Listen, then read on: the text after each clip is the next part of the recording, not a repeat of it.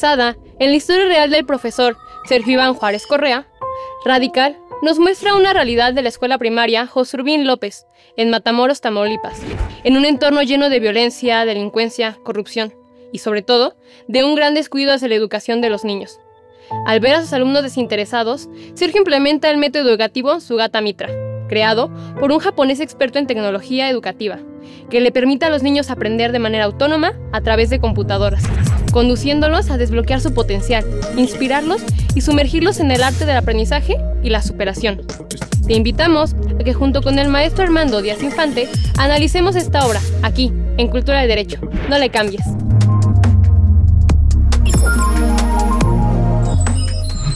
Bienvenidas, bienvenidos a una emisión más de Cultural Derecho. Mi nombre es Diego Guerrero y el día de hoy vamos a hablar de una película que nos lleva a diversas emociones, desde la risa, el llanto, la pasión, pero además nos deja un mensaje sobre todo a los que nos dedicamos a la maravillosa profesión de la enseñanza, la educación, a cómo tenemos que cambiar, cómo tenemos que escuchar a nuestras alumnas e incluso identificar las fortalezas que tienen para promoverlas y generar los grandes profesionistas, las grandes personas que requieren este país y el mundo. Y la verdad es que esta película fue muy, muy bonita y le quiero agradecer a nuestro invitado, al maestro Luis Armando Díaz Infante, que nos haya traído esta película radical, la cual incluso es con un personaje, un actor mexicano, este, que siempre lo hemos identificado con la parte cómica, pero en esta película nos muestra estas facetas diversas hasta llevarnos, incluso lo, lo, platicábamos con algunas compañeras y compañeras alumnas de la Facultad de Derecho que también nos acompañan el día de hoy presencialmente en esta grabación y que les agradezco que estén aquí muy atentas y atentos, pero que efectivamente nos lleva las emociones del llanto, de la alegría, de la reflexión y, no sé, pero de pronto esta, cuando estamos digiriendo la película, porque no es una película que se haya quedado, sino la vamos digiriendo a lo largo de la semana, nos deja muchos mensajes. Gracias por acompañarnos el día de hoy en Cultura del Derecho.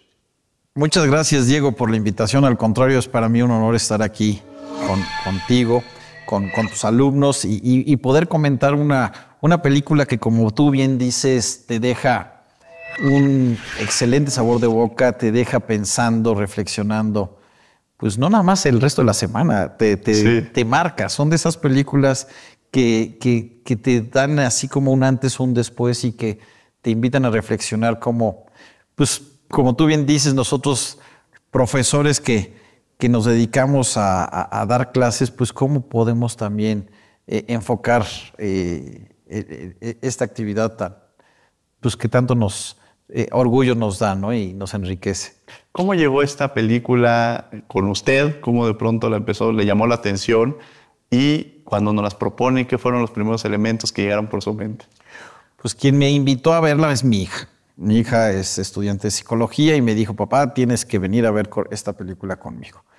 Y, sí, cuando uno ve que es con Eugenio Derbez, dije, bueno, pues es una película de comedia, ¿no? Y no, bueno, se da uno cuenta que es, es un gran actor este Eugenio Derbez porque pues, puede tomar diferentes papeles. Aquí protagoniza a, este Sergio, un profesor de primaria, de sexto de primaria, que él, decide irse a una escuela primaria pública en la ciudad de Matamoros, en un ambiente pues complejo, difícil, en donde los alumnos pues tienen diferentes vicisitudes, pasan por situaciones complicadas como puede ser estar en un entorno con el narcotráfico o como este, todo este fenómeno de las maquilas y donde pues una de, las niñas, de las protagonistas, tiene que ayudar a su mamá a cuidar a los hermanitos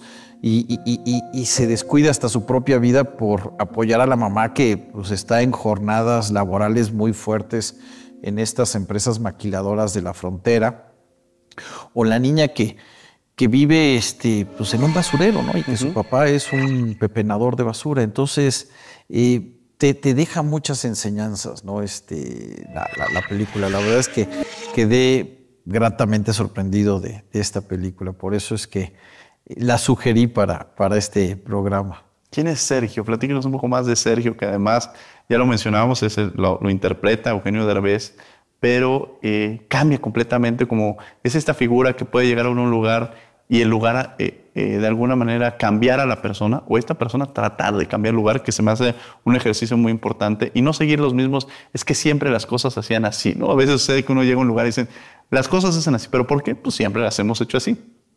Pero esta creatividad, que además yo creo que es muy importante, sobre todo en la academia, de cambiar las vidas y de cómo cambiamos nuestra forma de enseñanza. Platíquenos más de Sergio. Bueno, para mí Sergio es un pionero de paradigmas.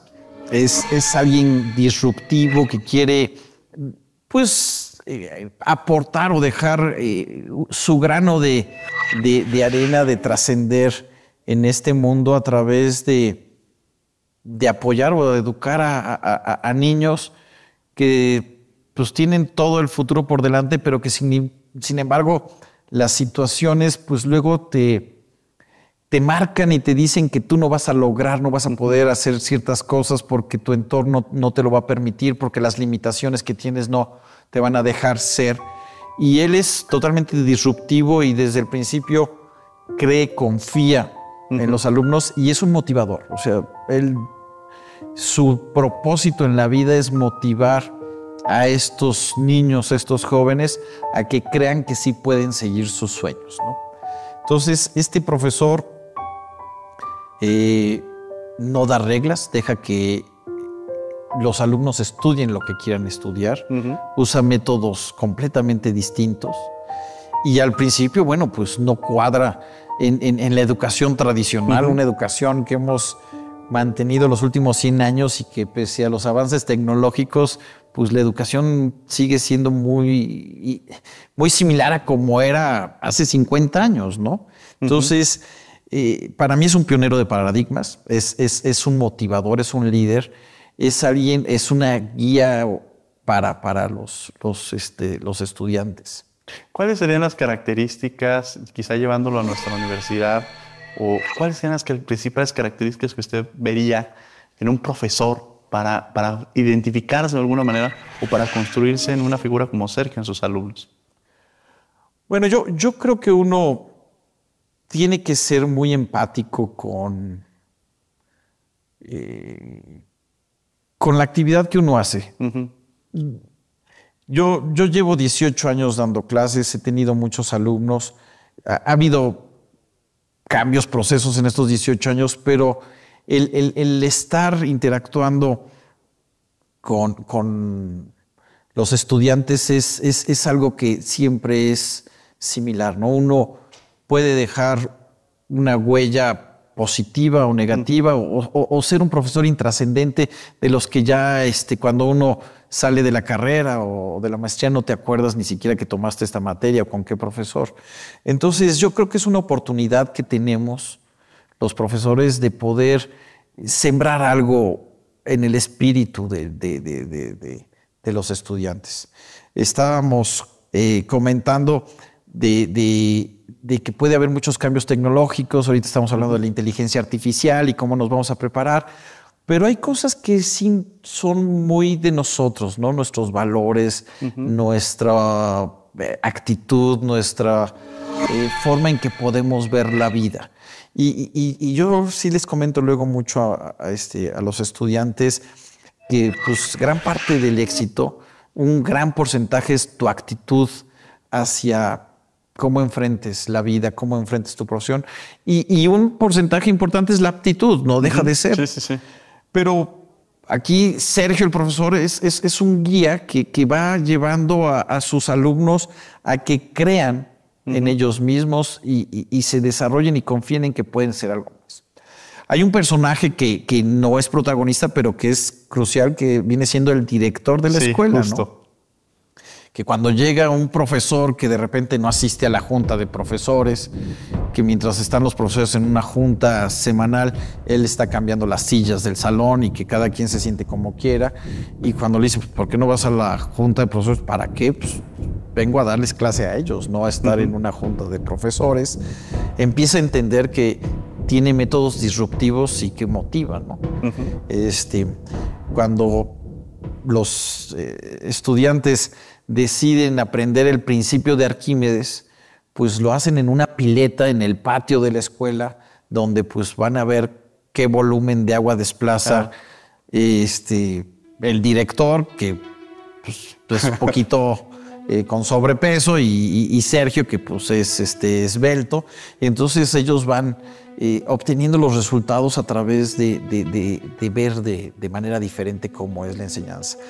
Eh, creo que nosotros los profesores pues podríamos motivarnos y ver cómo dejar esa huella en nuestros estudiantes, ¿no? Y romper con esa parte del adultocentrismo que creo que es una palabra que, que nos marca, porque es esta capacidad de no siempre decir los adultos es que nosotros sabemos todo, sino esta capacidad de escuchar a unos niños de primaria en su mundo, porque además también mucha de su realidad eh, se ve representada en esta, en esta película. Es decir, no solamente verlos en la escuela, sino ver sus historias, que también son muy fuertes, ¿no? Sí, hay, hay, hay un alumno, Nico, que es un niño muy inteligente, pero, pero este, el entorno en el que vive, donde su hermano, pues está vinculado con narcotraficantes y donde pues eh, el entorno lo vuelve una persona hasta un poquito hostil o, que reta la autoridad y, el profesor luego, luego se da cuenta de que tiene mucho potencial y empieza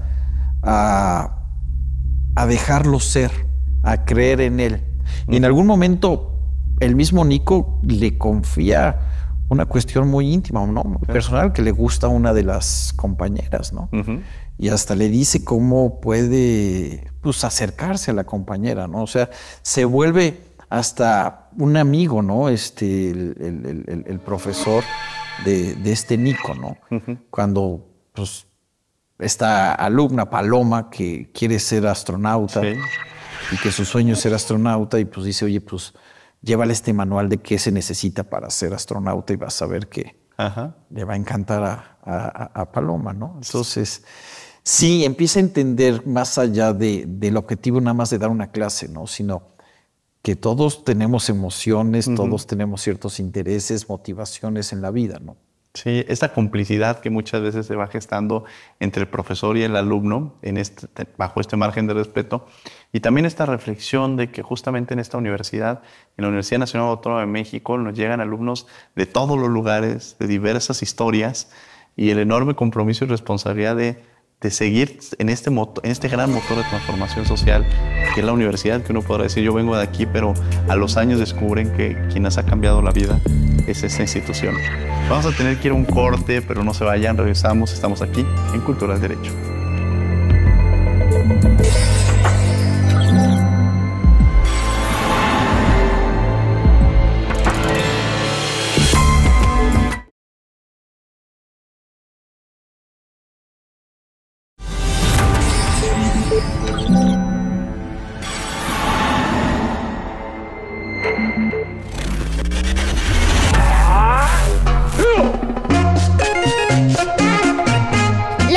Acceso a la educación en México es un desafío persistente que afecta a amplios sectores de la población, limitando sus oportunidades de desarrollo y contribuyendo a la perpetuación de la desigualdad social. Uno de los principales obstáculos es la brecha económica que separa las comunidades urbanas y rurales. En áreas remotas y marginadas, las instituciones educativas suelen ser escasas, carecen de recursos adecuados y en muchos casos presentan condiciones infraestructurales precarias. Esto no solo dificulta el acceso a la educación, sino que también afecta la calidad de la enseñanza y la motivación de los estudiantes. Superar estos desafíos no solo requiere de un gran compromiso por parte de las instituciones, sino también por cada profesor y profesora que enseña dentro de nuestro sistema educativo. Recuerda que un maestro es el faro que ilumina los caminos, la chispa que enciende el conocimiento y el arquitecto de sueños, construyendo el futuro con cada lección impartida.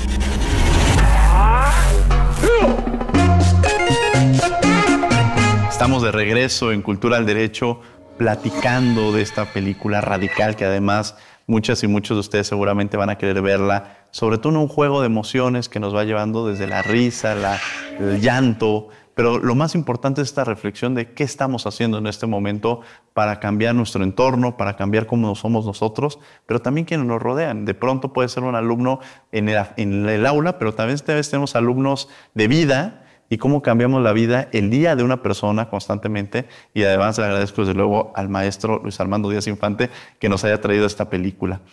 Eh, se rompen paradigmas en esta película, nos enseñan esta parte de empezar a sembrar la confianza. Platíquenos un poco de esta estructura que nos, nos, presenta la misma. Bueno, acabas de comentar algo fundamental de estos alumnos de vida. Yo, yo, creo que también debemos hablar de maestros de vida y muchas veces nuestros alumnos se vuelven también nuestros maestros de vida y uno aprende muchísimo de los alumnos.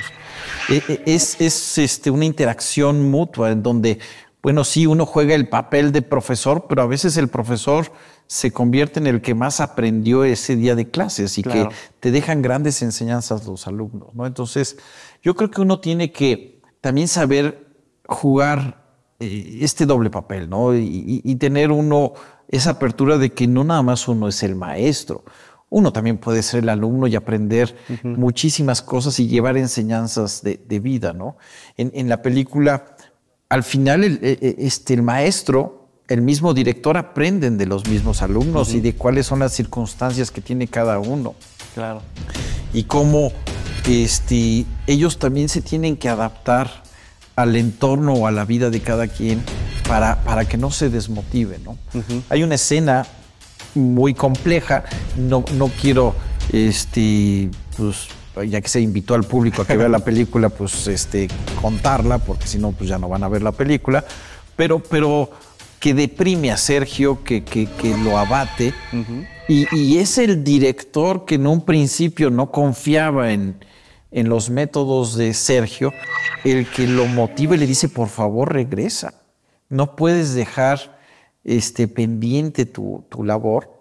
Este, me gusta mucho la película porque está basada en un hecho real de, cuando se hacían estos exámenes del Ceneval, que ahora creo que ya no se hacen, pero, pero que mostraban cuál era el nivel eh, educativo de, de, los alumnos y cómo a través de estos métodos disruptivos, estos métodos que no venían en el programa, este, eh, al final cuando hacen un examen general de conocimientos que aplican todos los, los alumnos del país, salen con las mejores calificaciones los alumnos de este profesor, en una escuela que durante varios años y había tenido las peores calificaciones, ¿no? Lo que es saber tocar los corazones y motivarlos, ¿no?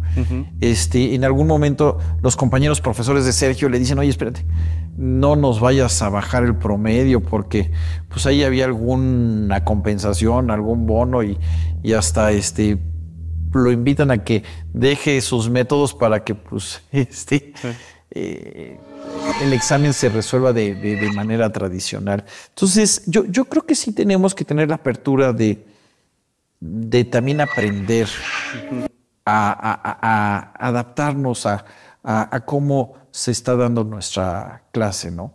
Yo, yo seguí este ejercicio también con mis alumnos de maestría y les pedí que vieran la, película de, Radical este, y, y que me dieran una tarea de cómo la habían visto. Bueno, la verdad es que fue muy gratificante este, que la misma película la vieron de manera distinta, todos muy motivados, pero eh, una alumna me puso eh, Paloma, que estaba en un entorno muy adverso, pero que tenía muy claro su sueño, no se distrajo con redes sociales ni con nada y se enfocó en hacer su sueño. Claro. Hay veces que tienes que estar bien enfocado para lograr lo que quieres, que no te, eh, el exterior no te saque de, ese entorno. ¿no? Este, otro me hizo un análisis de valores, de cómo en una situación adversa, tocando el, corazón de una persona, se puede este, motivar y decir, sí puedo y voy a lograr mi sueño. ¿no? ¿Quiénes han sido los Sergios que han marcado la vida de Luis Armando Díaz Infante? Que diría, estos maestros fueron también los que me ayudaron a creer, a soñar e incluso a motivarme a dar clases, ¿no? Porque creo que la motivación en las clases influye también en algún maestro que fue un guía o que de alguna manera, incluso llegamos a veces a, copiar o imitar de forma positiva aquellas cosas, cómo daba la clase este maestro, cómo calificaba este maestro. Somos la combinación de eso, ¿no? A veces.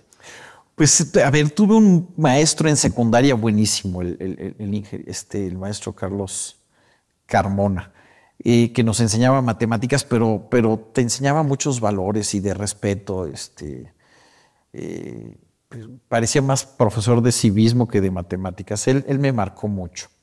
Pero en la carrera eh, el ingeniero José Manuel Covarrubias, que también fue director de la facultad, tesorero, y llevé tres materias con él que me, marcaron. Tuve, tuve el honor, el privilegio de ser consejero técnico alumno de la Facultad de Ingeniería hace 32 años y, le aprendí muchísimo al ingeniero José Manuel Covarrubias. Casualmente mi padre también fue mi profesor en la facultad. El último semestre tomé clases con mi padre de edificación. Me acuerdo que mi mamá le decía, si lo repruebas, me voy a divorciar. Y dice, bueno, pues si lo tengo que este, reprobar, nos divorciamos. Pero siempre fue un buen profesor, un buen guía mi, mi, padre. La verdad es que afortunadamente todavía vive y, lo veo con mucha admiración. Y he tenido otros Sergios, no, no nada más en, en, en la universidad. Bueno, eh, hubo muchos profesores en la facultad que me, que me marcaron, que les tengo mucho cariño el, seguir recorriendo los pasillos de la Facultad de Ingeniería y acordarme de mis profesores o verlos ahorita mayores, pues, pues me marcaron la vida. Pero, pero también, por ejemplo, eh, trabajo en la Cámara Mexicana de la Industria de la Construcción y ha habido presidentes de la Cámara que, que te marcan y dices, a ver, hay cosas que hay que saber cómo negociar, cómo entender un gremio, cómo representarlo, que también se vuelven tus profesores, ¿no? Este, Tuve un alumno al que le dirigí la tesis y que eh, tenía situaciones complejas y que ha sido yo creo que la tesis que mejor y más rápido ha salido y, bueno, pues fue un, maestro de vida, ¿no? Me motivaba este, eh, dirigir esa, esa tesis. Qué maravilla, se nos ha prácticamente terminado el tiempo, pero me gustaría que nos mandara algún mensaje, alguna reflexión sobre todo al público este, en torno a todo lo que hemos platicado. Seguramente esta película nos llevaría más tiempo, más horas, porque la verdad es que este, nos deja con esta gran enseñanza, esta gran motivación. Y la verdad es que, como lo menciona, esta posibilidad de, de verlo en la película, pero además hablar con usted y cómo también las pasiones, los sueños y los maestros, los Sergios que tenemos en la vida, pues nos permite también identificar en dónde estamos parados, hacia dónde queremos ir y el amor a la universidad. Saber que fue consejero técnico alumno, a mí me tocó ser consejero universitario alumno y yo siempre he creído que estas experiencias nos permiten conocer mejor a la universidad, conocer mejor a nuestras facultades y entender mucho más allá de este compromiso que uno entra.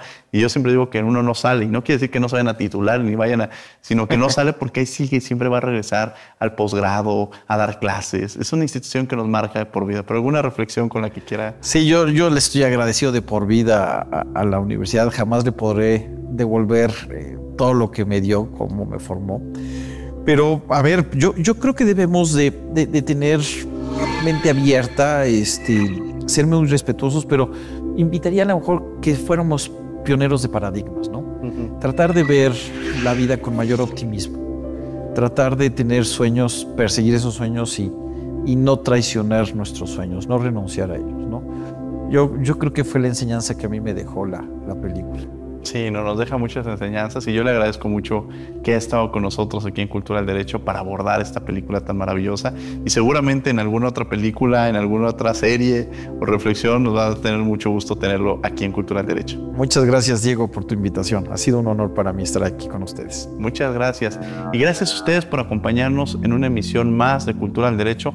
Los martes, los martes también estamos en Radio UNAM, en 96.1 FM, en Derecho a Debate. Cumplimos ocho años años, ocho años en Derecho a Debate, abordando diversos temas jurídicos, pero también ciencias sociales relacionados con la ciencia. Debates muy interesantes. Los invitamos a que también nos sigan en ese espacio de difusión de la cultura jurídica. Pero por lo pronto, les mando un abrazo muy grande y que tengan muy buen día. Sigan con la programación del canal.